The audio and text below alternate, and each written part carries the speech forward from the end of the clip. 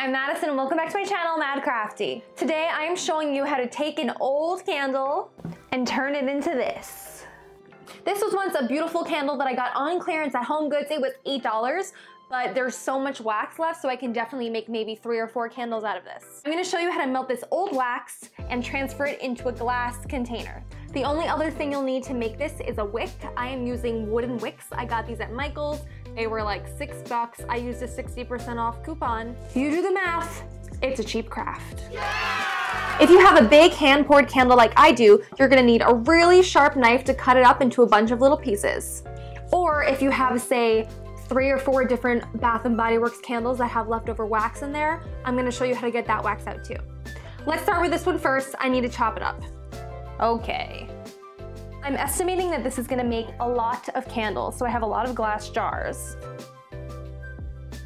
This is not easy. Yes. Got them. The tinier pieces you cut, the better. Now we gotta go to the kitchen. To get the wax out of small candles or Bath & Body Works ones, you'll want to boil a pot of water on medium heat and carefully hover your candle jar over the top of the water and you'll see the wax at the bottom start to loosen up and it will just sort of pop out.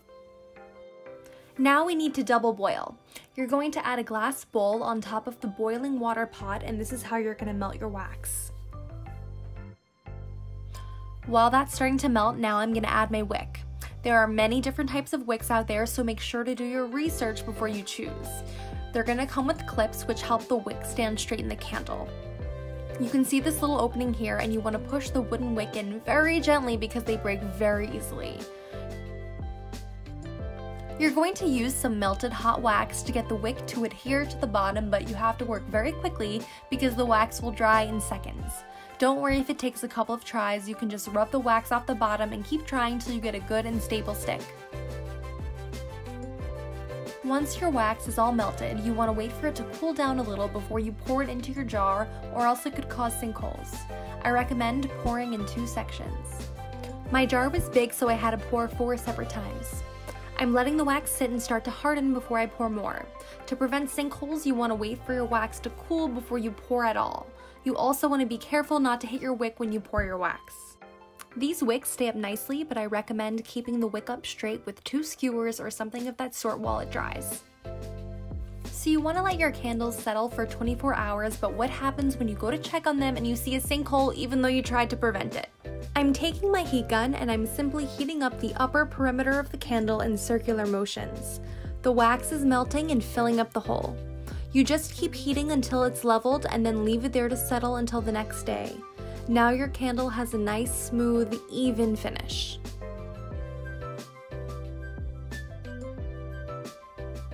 The box your wicks came in will tell you how short to trim it. And just like that, my one big clearance amazing $8 buy has brought to life four new candles. And you bet your bottom dollar when these are burnt, I'm gonna do it all over again. Reduce, reuse, upcycle. Now, before you do this yourself, if you're using wax from an old candle, make sure you look at the bottom, read the tag. What kind of wax is it? Go online. Da, da, da, da, da.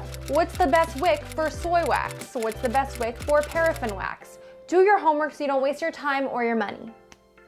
If I inspired you to upcycle and make new candles of your own, please tag me at maddcrafty on Instagram or email me at info at maddcrafty.com so I can see what you made. If you enjoyed watching this video, please give it a thumbs up and consider subscribing to my channel for more crafts. See you next time. Awesome.